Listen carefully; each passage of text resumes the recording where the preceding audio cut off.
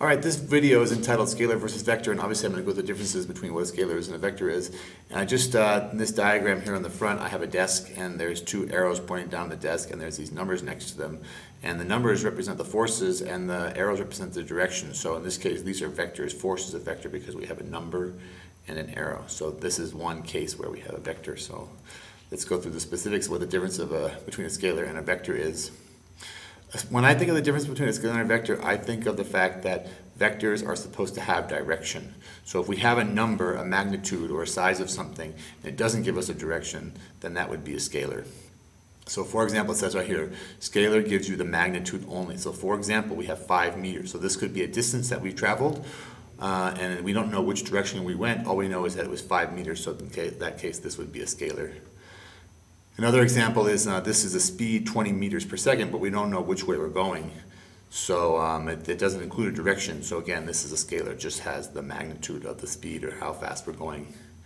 Uh, when we have it, when we talk about vectors, we have some additional information because it has the magnitude and the direction. So for example, if we have um, a speed, I mean, excuse me, a distance here, five meters, and then it says to the west, this would now be considered a displacement because it's a distance plus the direction, and that would be a displacement, which is a vector.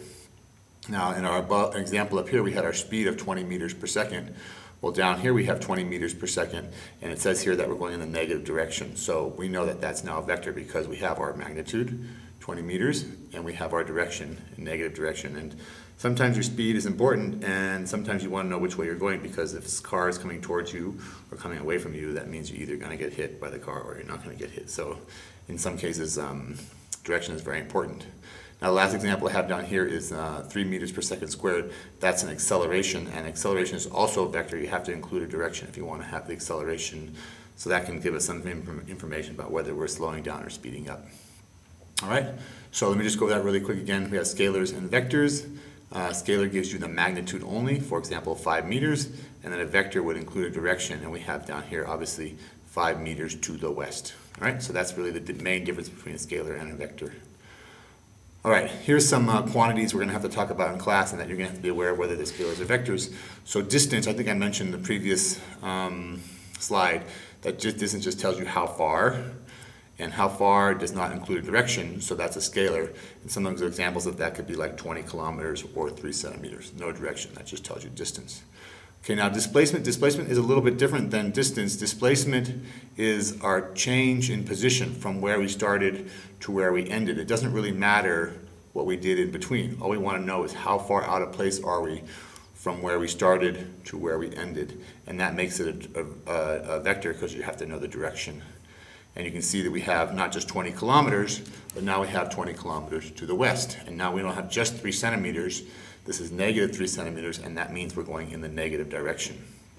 All right, speed. Speed, as you might guess, is a scalar because when you get a speeding ticket, the police or the cops don't tell you which way, or they don't really care which way you're going. All they want to know is that you were you going under or over the speed limit. So speed is a scalar, and some speeds, for example, would be 20 kilometers per hour, or 3 meters per second squared.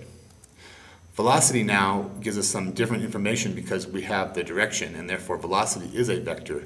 Velocity includes the magnitude, so we have the magnitude here, 20 kilometers per hour, and it tells us the direction. Or again, we have 3 meters per second, but now we have negative, which means we're going in the negative direction. Negative velocity does not mean you're slowing down. We'll talk about that yeah, more in the future. Okay, acceleration, as I mentioned in the previous slide, is also a vector. We have to know which way the acceleration is headed so that we can tell which way, whether we're slowing down or speeding up. So we have 20 kilometers per hour squared to the west, and again, 3 meters per second squared, and that would be in the negative direction. So acceleration is also a vector, includes magnitude and direction. Okay, force, the last one, is also a vector, as I mentioned on the first slide.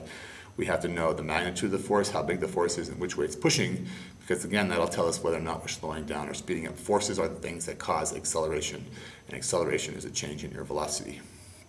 All right, uh, and then uh, the metric units for um, force are the Newton in here, and we have on this slide, we have 15 newtons in the negative direction. So that's the magnitude is the 15, obviously, and then the direction here it says in the negative direction. All right? Okay, next slide. So here's some real-life examples. Let's see if we can figure out whether these are scalars or vectors. Here we have 75 degrees Fahrenheit. Now, once again, you notice right away that there's no direction. And with temperature, you wouldn't have a direction. So obviously, temperature, or this quantity here, is a scalar. Now, the next one down here, we have 20 meters to the south. So that's the displacement. That's what our displacement is. We have the magnitude 20 meters and the direction is to the south. So again, that should be pretty obviously a vector. Now here's again 20, 50 miles per hour. Now you should, you should recognize this pretty quickly that that's just the speed. So in this case, the speed is going to be a scalar. No direction. All right, now here again, we have our uh, speed, seven meters per second, but now we have the direction, and that's to the east. So that's the magnitude and the direction, so that makes that a vector. All right, and the final one is 25 calories. It's kind of like the first one. You can't really have a direction for calories.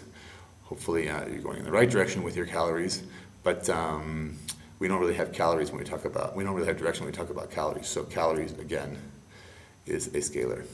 All right, so that's for the difference between scalars and vectors. Uh, vector has a direction and scalar does not. All right. Now I wanted to go on and show you some examples about just really quickly how we draw or how we show uh, vectors when we talk about vectors uh, uh, in class and how we're going to show them. So for example, um, we have here a vector and I wrote down here vectors and I put an arrow above it because usually we use an arrow to show the direction of something. So for example, if we have an arrow, we have an arrow that will say points in this direction, and let's say that represents five meters per second. That's a velocity. Here's our speed, and we're going in that direction. All right, now we could have an arrow that points like this. You notice the arrow is the same length. The vector arrow is the same length, so it's still five meters per second for our speed, but because we're going in the opposite direction, now we know that we have a direction to so we know that both of these are velocities. So the speeds are the same, we're going at the same speed, but we're going in opposite directions. And let's say we could show one more. Let's say we draw a vector arrow that looks like this, and you'll notice that this vector arrow is twice as long as this one.